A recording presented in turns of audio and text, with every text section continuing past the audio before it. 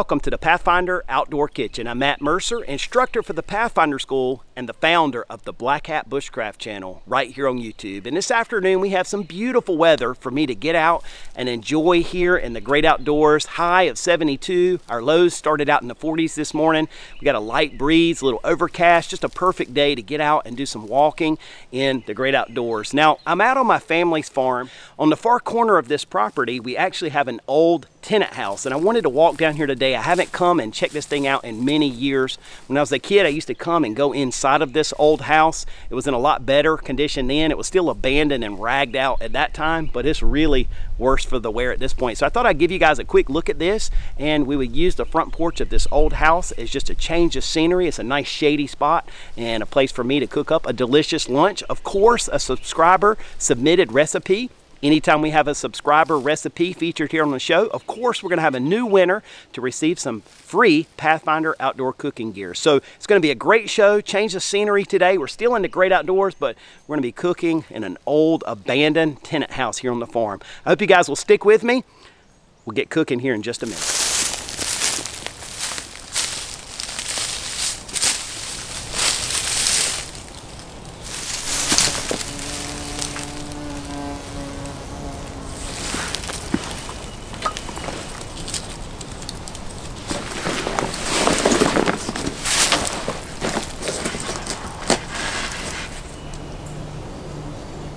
So I know that you guys get excited about the announcement of a new winner here on Pathfinder Outdoor Kitchen, and y'all know that I love making these announcements and sharing with our subscribers and those that support us some free Pathfinder outdoor cooking gear, the gear that I use and enjoy so much out here in the great outdoors. And today's winner is Travis K.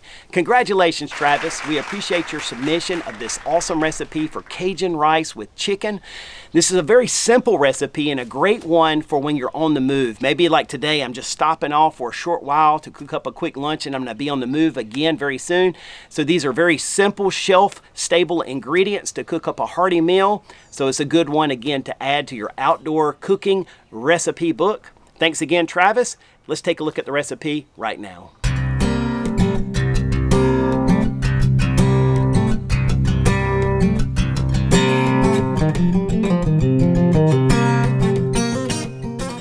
So I have everything that I need to prepare this meal today packed in this Pathfinder MOLLE water bottle bag. You can see that nicely embroidered logo there. This is the new earth brown color in case you've been curious about that. And there's a ton of space in this bag. I'm gonna show you how I have this packed. I have my 32 ounce Pathfinder water bottle, Old Faithful there. Probably one of my most used pieces of kit. And I have my 25 ounce stainless steel cup here that of course goes with that. And down in the bottom of this bag, underneath all of that, I have an MSR IsoPro fuel canister. This isn't one of the little ones, this is one of the bigger ones, as you can see here. And I'm gonna use that with my Pathfinder titanium stove. We have that here on the front pocket. I have a ton of stuff packed in here and still room to spare. We've got coffee, vitamin C mix, hydration salts, bottle hanger, lighter, the lid for my cup, a pack of chicken, which we're going to use in our recipe today. And of course, I have my little tiny micro stove. This is the Pathfinder titanium stove, and we'll use that to cook up our meal today. So again, everything I need is right here in this kit. So we'll be using this little Pathfinder micro titanium stove. It's an awesome little stove. It packs up so nice and compact. Whenever I'm going to install it on a fuel canister like this, I make sure that the valve is completely cut off. And just quickly screw that thing onto the canister. There we go. And we're all set. And this floor is not exactly level, so I may have to play with that a little bit. But for the most part, other than lighting the stove, we're ready to start cooking. So I pulled up a little piece of wood here off the side. Check out this old nail, old blacksmith style nail. Pretty cool helps you date this house a little bit maybe. And I just got me a little piece of wood here. And this should level things out. It looks nice. All right, to get things started off, I have here three quarters of a cup of instant rice, pre-measured in a Ziploc bag. And I'm just gonna add that into my stainless cup here. And on top of that rice, we're gonna add in one cup of water. I'm gonna just use my stainless bottle here. And inside the cup, we have some graduated measurement markings. It's probably hard to see that. The first one is 16 ounces, so I know if I go halfway up to that, which is basically about where the rice sits, I'm gonna be just about perfect with that. All right, and to that rice, I'm gonna go ahead and add in all my seasonings. Now, in this recipe, it calls for one tablespoon of tomato powder. And what I'm using is Nor tomato uh, bouillon. And this has a little chicken flavor in it too, and that can't hurt since we're gonna add chicken to this recipe.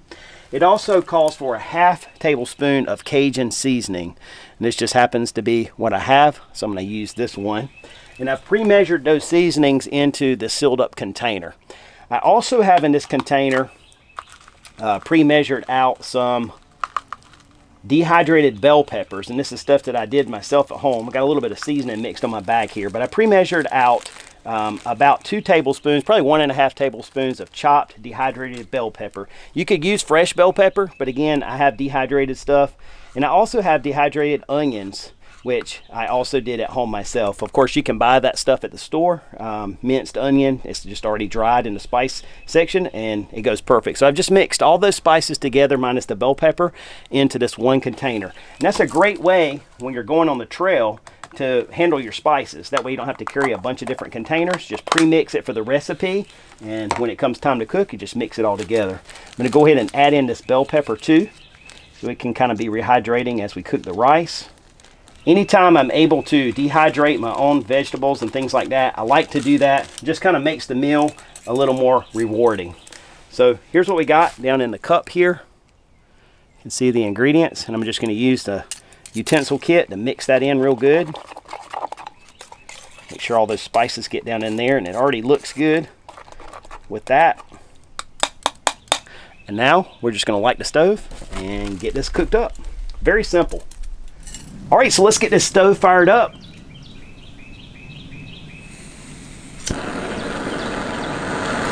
And this surface is not exactly perfect, but I'm gonna keep a close eye on it. Be careful with my cup. And that should be good to go right there. We are officially cooking.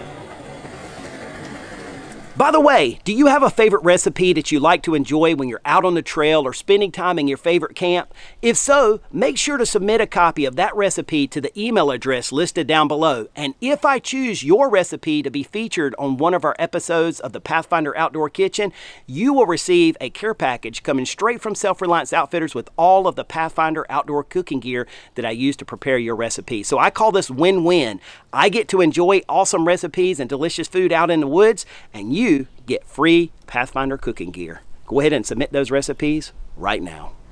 All right, so I can hear this stuff boiling, and so I'm gonna take it off the stove. I don't wanna take a chance of spilling. And I'm just gonna take the top off and take a look at my food. And I can tell I'm not far from being done here. So what I'm gonna do is I'm gonna go ahead and add in my chicken. I can see that bell pepper starting to rehydrate. It's still got a little moisture in there. So We'll just go ahead and take our chicken pack, It's pre-cooked, applewood smoked. This is a 2.6 uh, ounce pack. Easy to acquire at your local box store. And this stuff is awesome. It has a good shelf life and it just makes for easy cooking when you're hiking, camping, that type of thing. So we're just gonna add that chicken in, mix that stuff in real good. Let those flavors mesh together. That looks good. And I'm gonna put my top back on.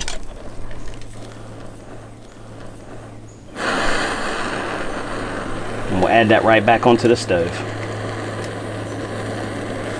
All right.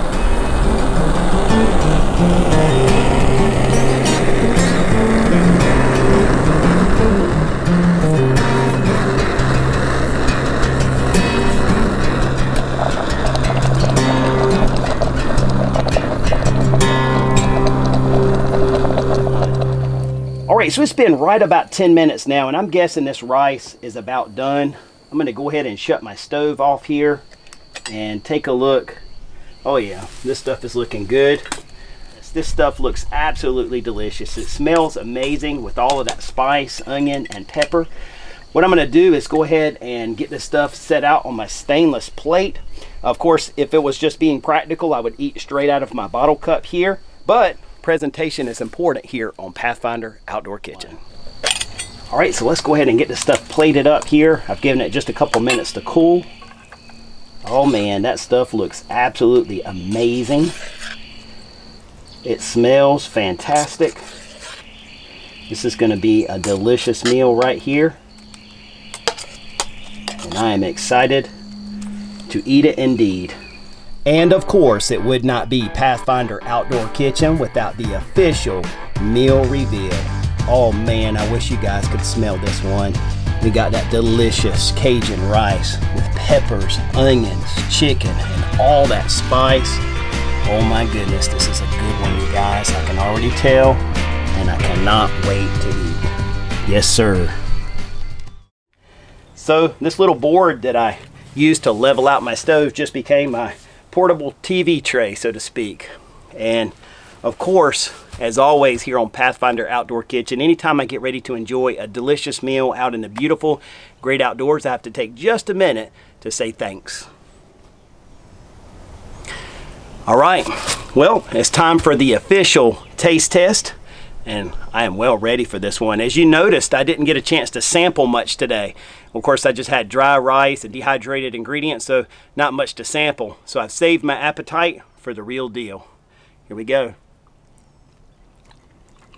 Mmm. That is so much flavor. It's got a little kick to it as well.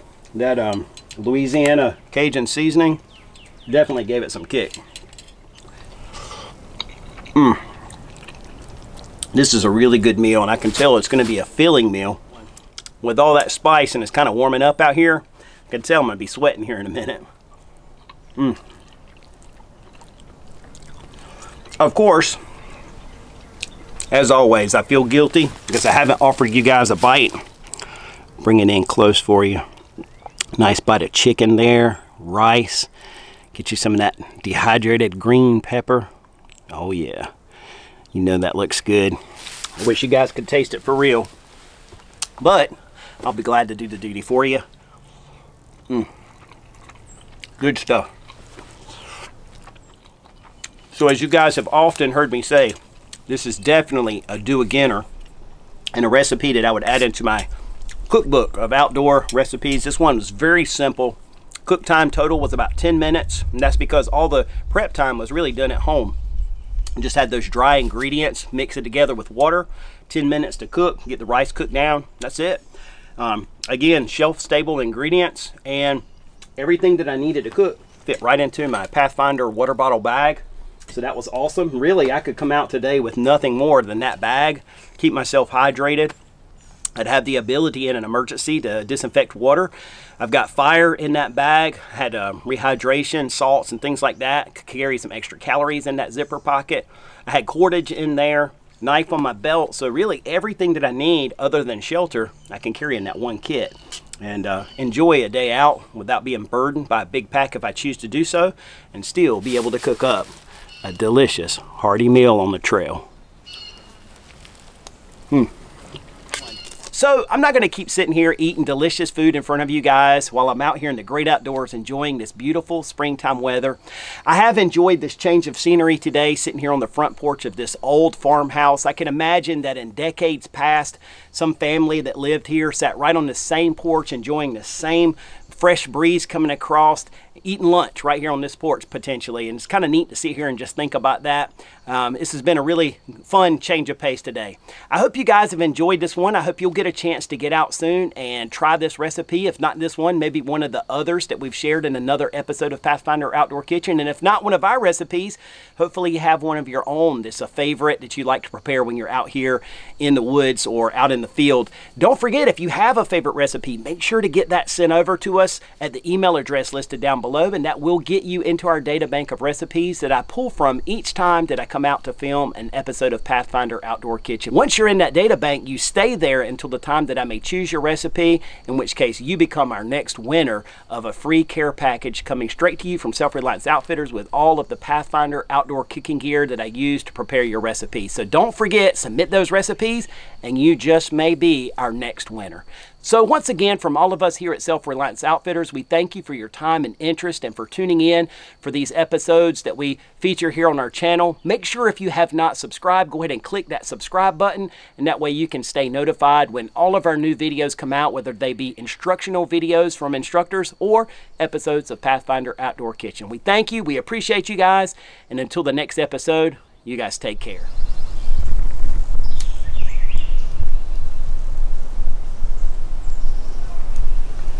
Well, it's time for my least favorite part of the Pathfinder outdoor kitchen washing dishes. But it's always worth it. Always.